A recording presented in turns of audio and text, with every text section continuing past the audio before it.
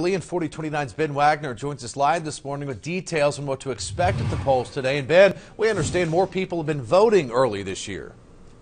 Yeah, Derek, that's right. About 2,000 more actually than compared to four years ago. And we're here at the Washington County Courthouse. This is one of only two spots here in Washington County to vote early. So if you are planning on heading to the polls early today, make sure you get out early. That's been the message from all of the county clerks that we've spoken with because most of the locations will close in the early afternoon. And now we talked with the Washington County clerk earlier who says voting earlier has gotten more popular each year. This year, she expects more than 25,000 will vote early in Washington County before Tuesday, and that's compared to 330,000 voters voting early across the state here. And with more people heading to the polls early, she says there could be even more spots to vote early in the future.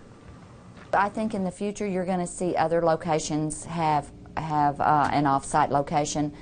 Uh, possibly out in the western part of the county, maybe down in the southern part. The problem is, is Washington County, I believe, will have to buy more machines because, you know, we have to by law send these out on election day. And now if you've had a name change or an address change since the last election, the Washington County Clerk told us that it's better to get that out of the way uh, before the election rather than waiting until election day. Now, if you are voting early, you can do that process right at the polls, but again, it's just going to make the process a lot easier if you get everything done before the election on Tuesday. Guys, back to you. All right, Ben, thank you. And the poll is going to be open tomorrow from 7.30 a.m. to 7.30 p.m.